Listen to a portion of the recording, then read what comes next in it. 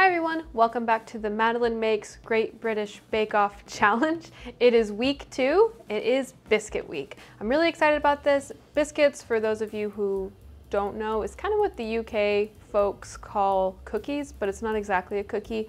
Biscuits tend to be really crisp and they go well with tea. I knew as soon as I watched this episode I wanted to try to make fig rolls. I personally really love figs. I think they're really underrated and anything spiced, I am all about. I'm, I'm sure I've mentioned that before, either in the last episode, which was Cake Week, which if you missed that, go back and watch that. I make a fruit cake. In the show uh, for this week, for the Signature challenge, they made 12 chocolate biscuit bars. For the technical, they did fig rolls, and for the showstopper, they did a 3D biscuit sculpture. I wasn't about to tackle a 3D biscuit sculpture. That is quite a monumental task, so I decided to do the technical challenge this week. But a great thing is I was able to find the exact recipe that was used in the show, which was a Paul Hollywood fig roll recipe. So I just pulled that exact recipe and that's what I'll be making today. So pretend I just revealed this from a cloth of gingham.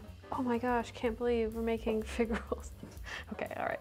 I know I'm making fig rolls. I like to overcomplicate things. I don't like to. Uh, I'm a gluten-free gal, so I'm doing measure for measure flour. Hopefully that doesn't affect how this will turn out. Hopefully that doesn't affect how this will turn out. The whole idea of measure for measure is that you should be able to use it just like you would regular flour. So fingers crossed. Oh, and I don't think I mentioned this. I'm not doing this under a time constraint. I, I'm not gonna do any of these challenges under a time constraint. You need a refresher of the Bake Off, the Madeline Makes Bake Off rules, here they are. And one of them is that I don't time myself, but I do try to keep it in mind. Maybe someday we'll make these timed challenges. So it calls for muscovado sugar. Uh, I think that's just brown sugar. I've, I've done that several times before when I make a British recipe that calls for muscovado sugar. I just use brown sugar. I think it's exactly the same. And I'm going to beat this for like five minutes. that doesn't look like a lot, but you know, oh well. It's fluffy and pale, like me. Just kidding. So here's what we're looking at. It's not a lot. So now I need to Add the egg. Now the egg, I think, needs to be beaten already, so let me beat it. Just beat it. I'm gonna follow Mr. Hollywood's instructions exactly. Normally I would just put the egg in there, but he is the expert. And according to the Great British Bake Off website where I got this recipe, the difficulty level is, is hard. It's hard. So hopefully, I mean, this will still maybe be a challenge, even if it's not as much as what the bakers would be getting.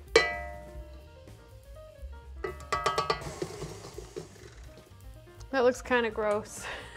Looking a bit separated. So give it another whisk. See if that see if that helps. If not, then we'll just add the flour and it'll be fine. Okay, yeah, that's a bit better. It's it's it's it's basically the same, but it's looking a bit better. So this is what we got. It's looking like a dough, so good. I feel like when the recipe was labeled as difficult, it wasn't talking about making the dough. So I probably shouldn't feel too proud of myself quite yet. this is uh, this is pretty basic.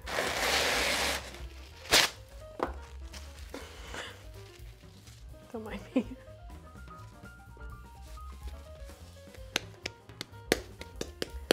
I don't think that, that is such a weird feeling dough.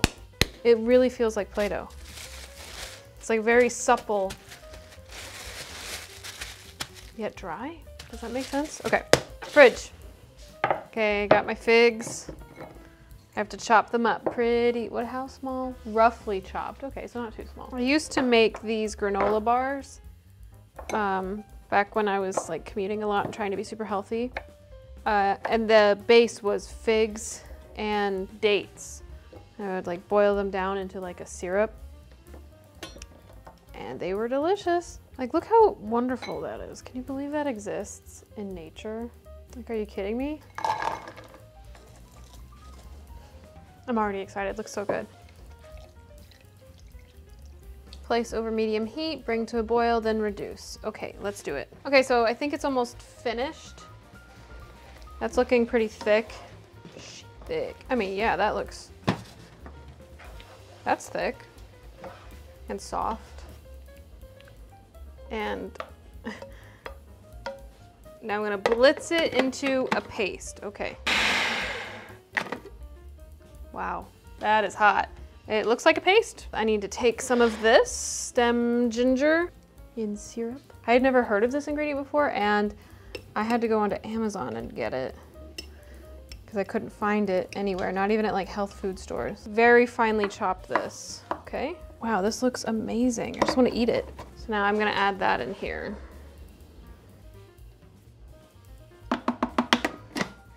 Let's combine this.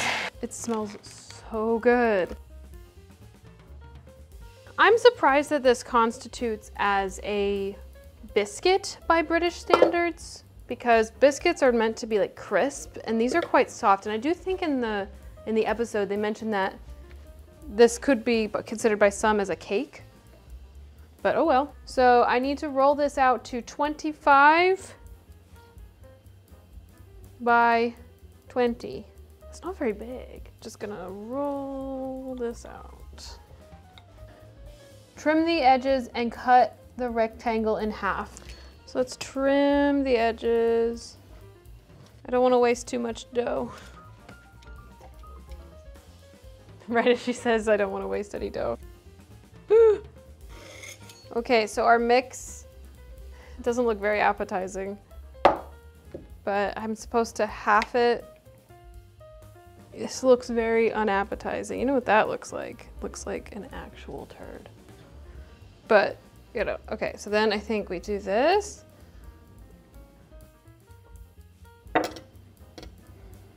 Using baking paper to help, lift and roll the dough over the filling as you would a sausage roll. You know what I've never made?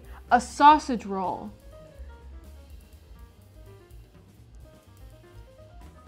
I see why baking paper would have been helpful. Oh no, my dough has, no, my dough, no. Oh no. Oh my gosh. oh no. My dough is too dry, I guess. Maybe it's been out too long? No, that wouldn't be it. Okay, well, it's better, but it's still not great.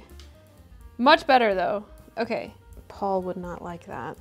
Okay, so I'm gonna cut them four centimeters each because 25 it's, it's close enough, that's why. That's not very even. The last step is to run a fork along the top to make decorative marks. I think my dough is too, I can't do it.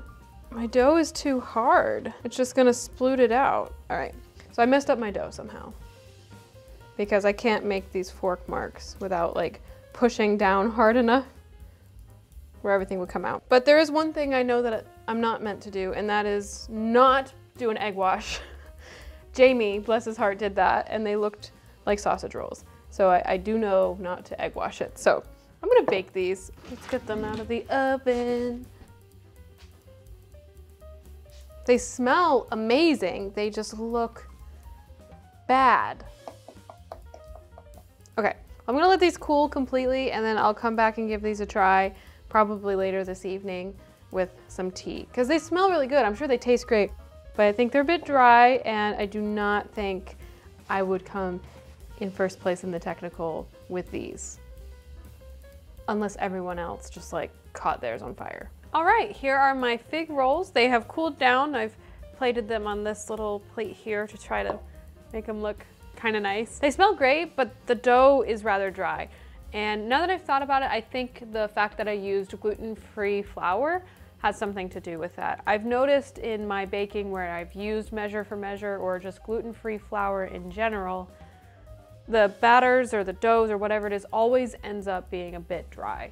So I have a feeling that had something to do with it. It's not a dough that's very easy to work with. The reason regular dough is so pliable is because gluten is built and all that kind of thing. But obviously there's no gluten here. So there's not a lot of stretchiness or a lot of give. So I think that might have something to do with it. Not making excuses, just purely making an observation. Uh, I would be interested to try this with regular flour and just see if there's a difference. But anyway, I'm eager to give these a try. I'm going to pour my tea first because these spices would go great with tea. So I have my tea. This is a ginger chocolate rooibos. that uh, my husband, instead of flowers, because I'm this kind of a girl, he got me some tea from this tea shop, that tea and spices shop that we discovered on our honeymoon in New York City back in December of 2019, if you could believe. BC before COVID, right before COVID. But anyway, great little tea shop. They're called Spices and Tease, like as in like teasing, T-E-A-S-E. But anyway, this is one of my favorites. So instead of flowers, he replenished my tea supply. But I think this will go really well with these fig rolls. So I'm gonna go with a small one. This is one of the ones that turned out, I think, the best. I've got minimal cracking on the top. It's a bit thick on the bottom, but you can see where that's sealed and it did crack along the seal. But anyway, let's give it a try.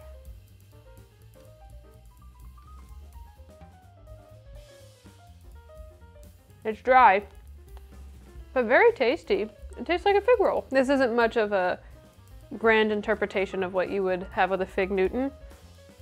I mean, the fig is obviously very pronounced. I like that that's the main sweetness I'm getting is from the, the fig.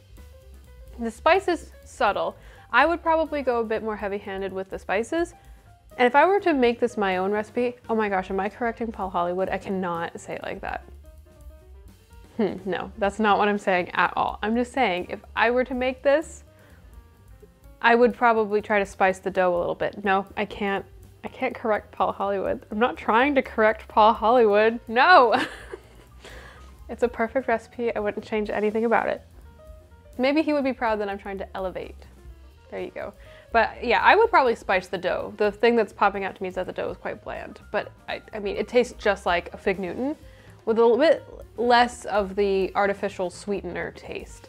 This is a more pure fig Newton. Nothing remarkable, I would say, but it's good and I'm gonna have them for breakfast.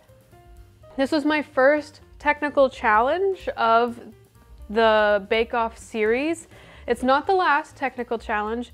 If you remember from the previous episodes, I mentioned the rules. I need to do two more technical challenges and I will. Uh, but yeah, this was, I can completely understand why this is technically difficult. It's not anything extraordinary in terms of its innovation. It's something that the bakers would know how to do, make a filling, make a dough. But it's those things I think when you get down to it, they're difficult to execute from memory. Um, I certainly did not do this from memory, but as you can see, I had a I had a recipe from Paul Hollywood himself and mine still turned out this way. Like I said, I do think it has something to do with the flour that I used. Unfortunately, there's not much I can change about that. Dietary restrictions are what they are. Um, but I hope you enjoyed this video. If you did, give it a like. And if you are interested in this Bake Off series, then please subscribe. We have eight more weeks to go. And I hope to see you next week during Bread Week. Oh my gosh. The dreaded Bread Week. I'm not even on the show where Bread Week is like a huge deal. And I'm nervous about Bread Week. I haven't made bread in a very long time, which I'll get into in the next episode, but I look forward to seeing you there.